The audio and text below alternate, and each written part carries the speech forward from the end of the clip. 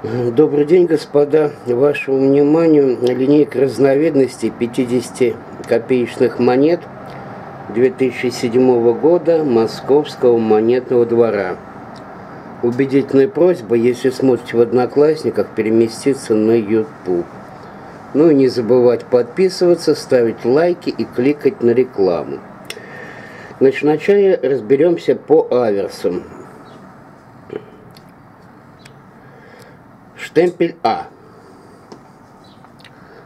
Здесь у нас буква М напоминает буковку W перевернутую. Штемпель. Так, и да, кан широкий. Как отличает кан широкий от катушки, кроме визуального? Ну вот, кончик копья все время ближе, чем у узкого. Это штемпель А.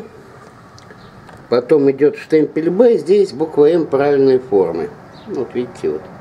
Здесь W перевернутая, Кассиопея такая перевернутая. Вот. И штемпель В. Буква тоже правильной формы, но кантушки. Видите, расстояние между пальчиком и кантом большое. То здесь маленькое здесь большой. Существует еще штемпель Г, но там монета пиратская, там кант очень широкий, просто взяли и штемпелем пятикопеечным штампанули. Чем отличается пиратский от обычных? Их не случайно ляпнули и в оборот выпустили, а специально на продажу. Поскольку там монета уникальная, у меня ее нету, и найти ее вам будет практически невозможно. Идем по реверсам. Три варианта. Штемпель 4.11 и 4.12. Здесь канты широкие. Отличие заключается в том, вот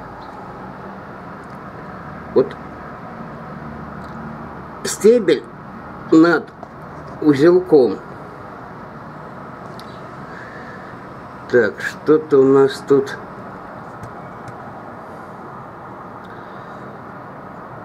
Заходит за кант, вот касается канта выше, и вот здесь выше касается канта.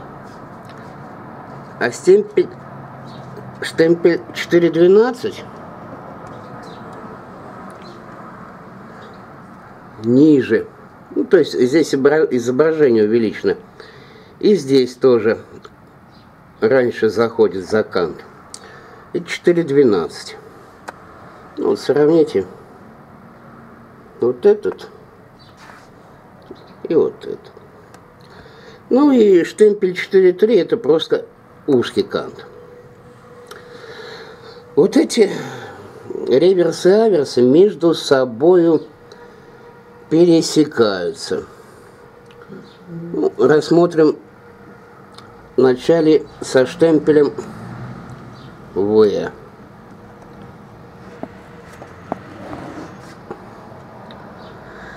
Так.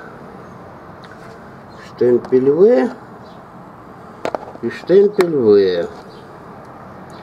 Здесь кант ушки. И здесь кантушки. Мы их перевернем.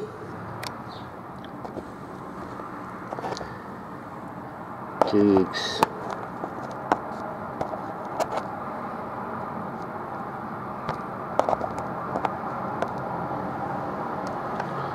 Ну, теперь видно, что у одной монеты с узким кантом на аверсе и на реверсе узкий кант. Это штемпель 4.3В, обычная рядовая 50-копеечная монета. А у этой, где на реверсе был узкий кант, здесь кант широкий. Эта монета нечастая. Ну, и 4.12, потому что здесь вот заходит ниже, И дальше тоже ниже. Тут монета не частая, но от силы и цена полтинник может быть. Найти ее несложно. Дальше. Сейчас мы тут нахимичим, у меня просто места не хватает, я передвигаю. Дальше со штемпелем А. Со штемпелем А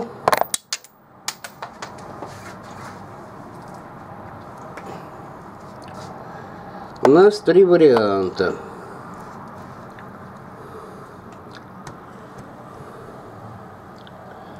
Вот это все монеты со штемпелем А. То есть везде широкий кант и перевернутый W. Так, 4.11А.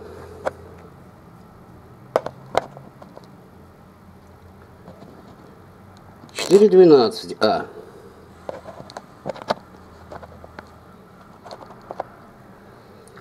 То есть вы видите, что здесь опять же изображение увеличено или уменьшено.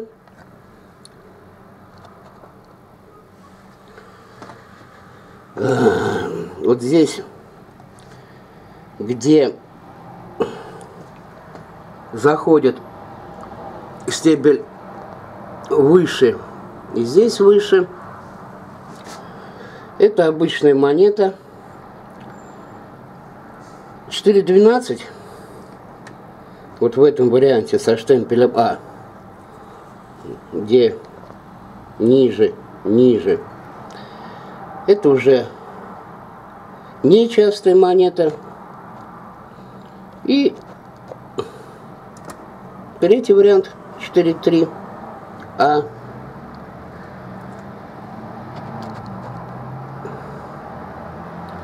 Здесь у нас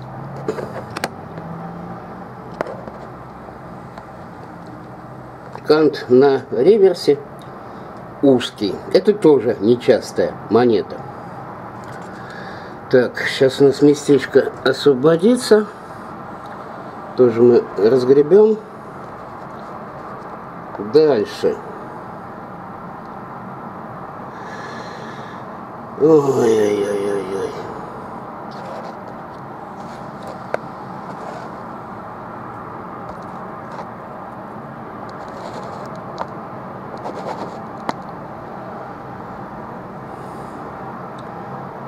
Штемпель Б. Кан широкий.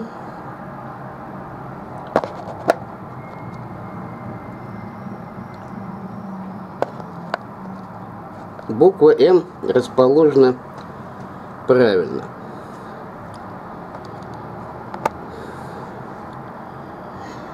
Четыре три Б. Это нас Б.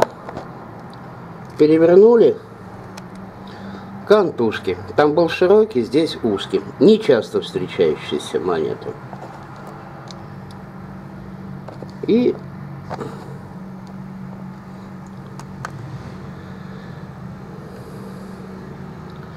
тоже штемпель Б. Тоже перевернем.